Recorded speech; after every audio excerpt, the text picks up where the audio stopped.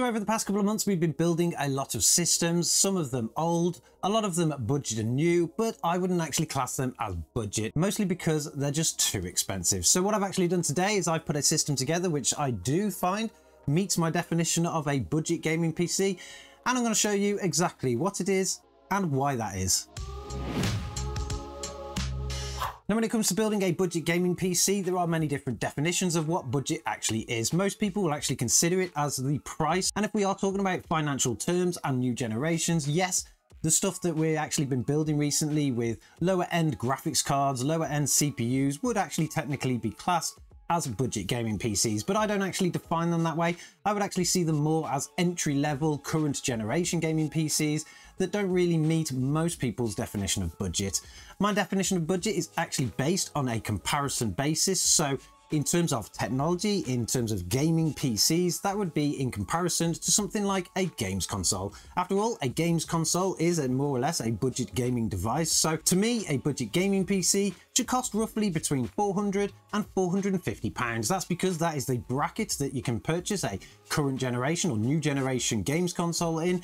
And unfortunately, you're not going to get that in the new market, as we've shown on the channel in our previous videos. Gaming PC technology across the board is generally up in price, which means the lowest you can kind of really build something that is more than capable and entry level is around the 700 to 800 pound mark which of course is double the price of a current generation console. So some people are right in saying that you probably should go that route, but of course we've also got the used market and that's exactly what I've built this machine from. This is a machine that has been built from the used market of some pretty impressive parts and they do actually meet the definition that I gave previously. A system like this wouldn't take much to actually put together and inside of it we've got some pretty impressive parts to be honest. For the motherboard we've got a basic A320 AMD board which is actually pretty suitable for most CPUs. In fact, this board that we've got here will actually take up to an AMD Ryzen 5800X, so you've always got a decent upgrade path there. Sitting inside the board, we've got the very trusty AMD Ryzen 5 3600. That is a 6-core 12-thread processor that is slightly starting to show its age now, but it is still more than capable,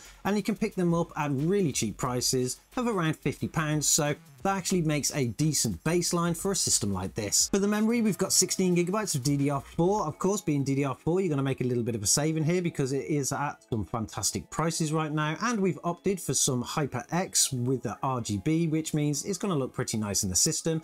You can pick up 16 gigabytes of DDR4 in 8 gigabyte sticks, pretty cheap nowadays. On the second-hand market, you can get it as low as £15, but if you do look new, you can pick it up for roughly around 30 Now, unfortunately, the motherboard that we've got here doesn't support any kind of NVMe slot, so we've had to go for something on the SATA when it comes to storage. And for that, we've gone for a very basic, crucial 480GB SATA SSD.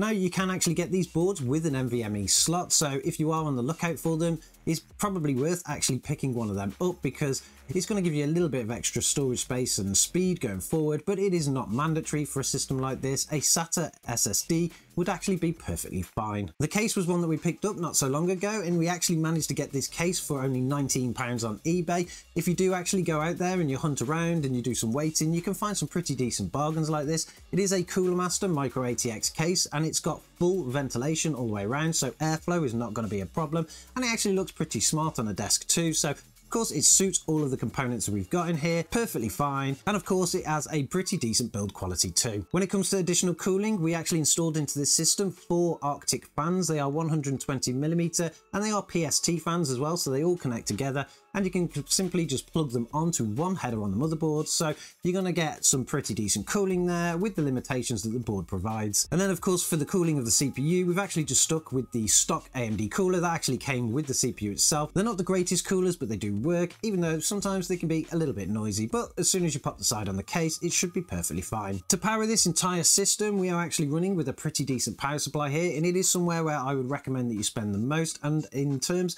of this system, it was probably the second most expensive part.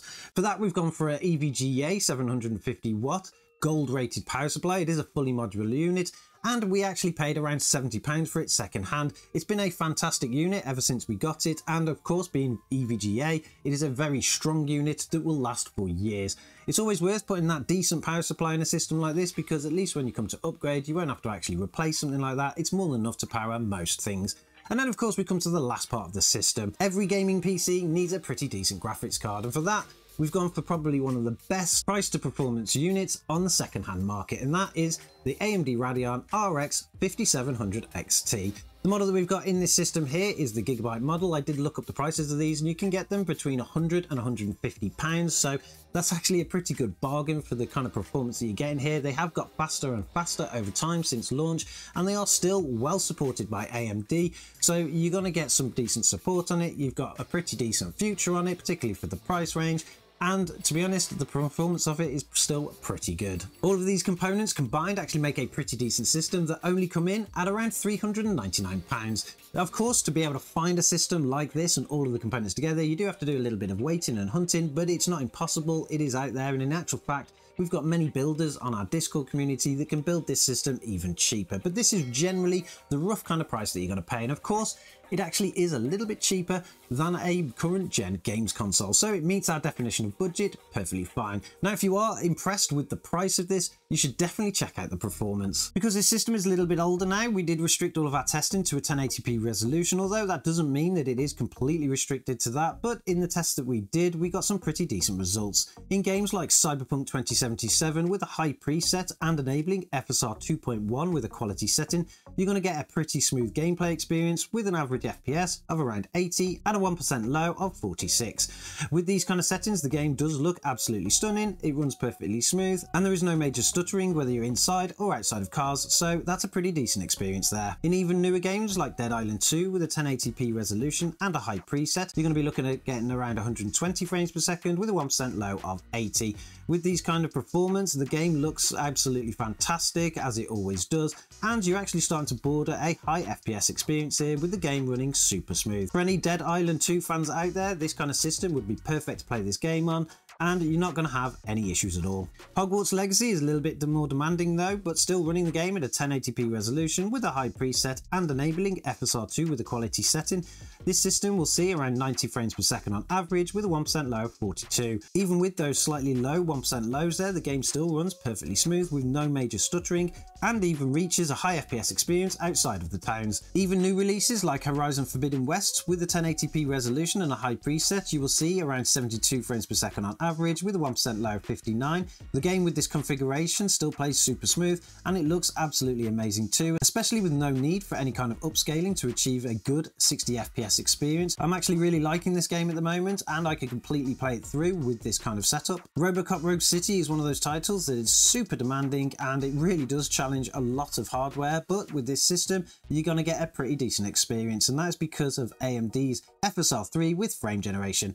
Running the game in 1080p with a high preset while enabling FSR3 with a quality setting and turning on frame generation, you'll see a high FPS experience here of 124 frames per second on average with a 1% low of 92. That means that the game actually runs very well with little stuttering and the graphics look absolutely amazing. So FSR3 here kind of really pulls this system up to a more modern type of performance. Starfield has got better over time since its release. It's actually had a lot of updates now so the game starts to run pretty well on most hardware and it is no different on this system.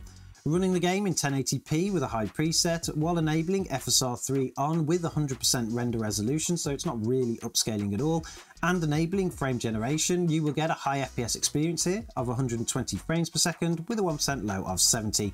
The game runs absolutely great with this configuration and to be honest, if you were to disable FSR3 and frame generation, you would still actually get a pretty decent average of 60 FPS, so it's not actually needed, but if you did want to take this system to the next level, you clearly could with that. The last game in our testing was The Last of Us Part 1. Running that game in a 1080p resolution with a high preset, we did need to enable FSR3 with a quality setting and frame generation to really kind of boost it up to a high FPS experience. With this configuration, you'll get around 134 frames per second on average with a 1% low of 56.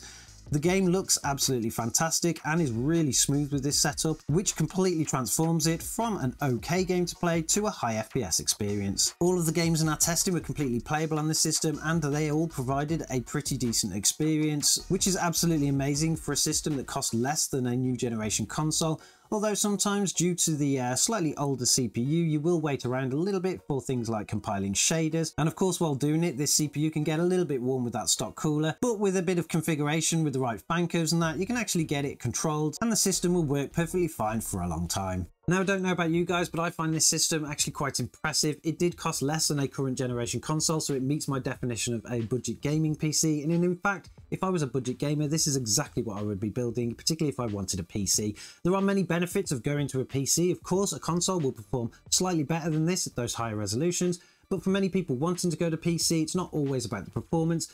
Lots of people don't want monthly subscriptions, which you have to do on a console. PCs, you don't need to.